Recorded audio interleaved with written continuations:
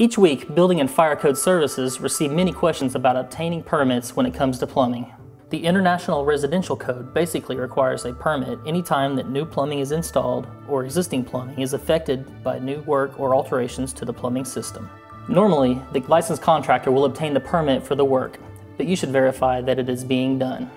When a permit is pulled, we in the Building and Fire Code Services Department keep records of the change and inspect it once the work is completed. So if you replace your hot water tank, does your plumber have to pull a permit? The answer to that is yes. Anytime you change out a hot water tank, it must be permitted and inspected to ensure that the installation meets both code and local ordinance requirements. It also ensures that the finished job is safe for you and your family.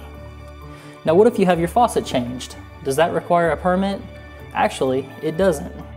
If the actual plumbing system, such as the water pipes feeding the faucets, are not altered or replaced, then no permit is required to change out the faucet. What about sprinkler systems? If you have one installed in your yard, do you need to have a permit pulled? Absolutely. This is required because the existing plumbing system is being affected by installing the sprinkler system onto it.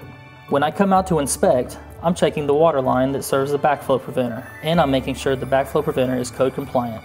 As I said before, when a contractor or plumber installs anything that requires a permit, it is important that you make sure the permit is pulled because it ensures that the company doing the work is qualified and licensed both through the state of Oklahoma as well as the city of Edmond.